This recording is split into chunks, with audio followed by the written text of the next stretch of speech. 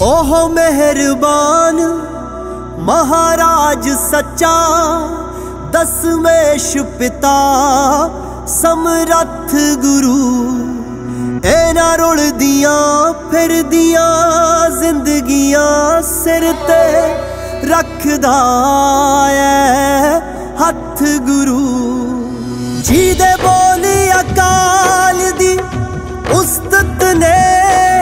ਸ਼ਬਦਾਂ ਵਿੱਚ ਸਜੇ ਦੀਵਾਨ ਹੁੰਦੇ।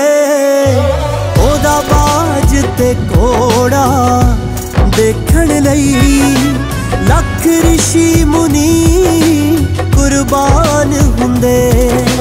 ਉਹਦਾ ਬਾਜ ਤੇ ਕੋੜਾ ਦੇਖਣ ਲਈ ਲੱਖ ਰਿਸ਼ੀ ਮੁਨੀ ਕੁਰਬਾਨ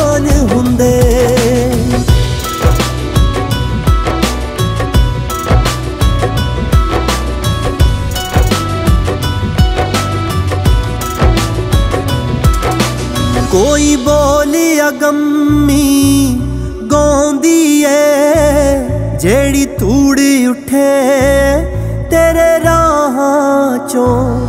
ਜੀਨੇ ਸੁਣਨਾ ਹੁੰਦਾ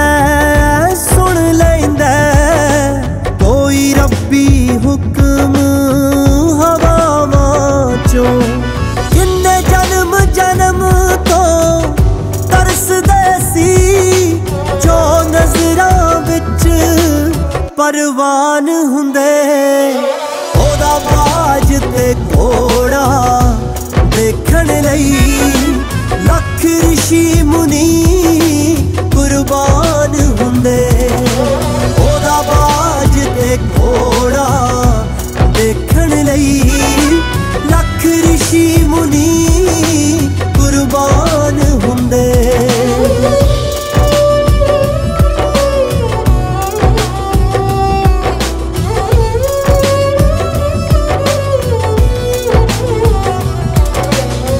ਇਹ ਭੀੜ ਨਹੀਂ, ਇਹ ਸੰਗਤ ਹੈ।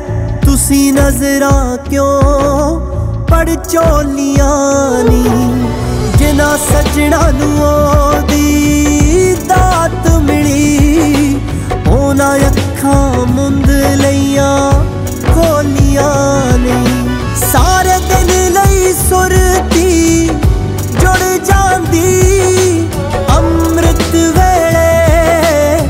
ਇਸ਼ਨਾਨ ਹੁੰਦੇ।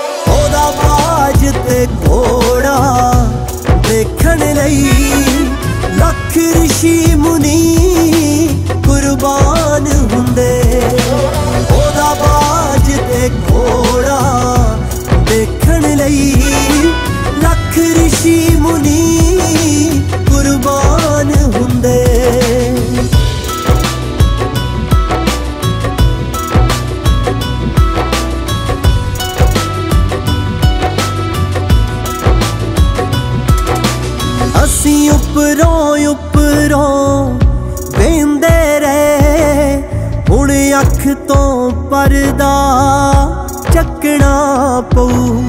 ਉਹਦੀ ਮਹਾਮੌਲਿਕ ਸ਼ਖਸੀਅਤ ਨੂੰ ਜ਼ਰਾ ਸੂਖਮ ਹੋ ਕੇ ਤੱਕਣਾ ਪਊ। ਉਦੋਂ ਅਸਲ ਵਸਾ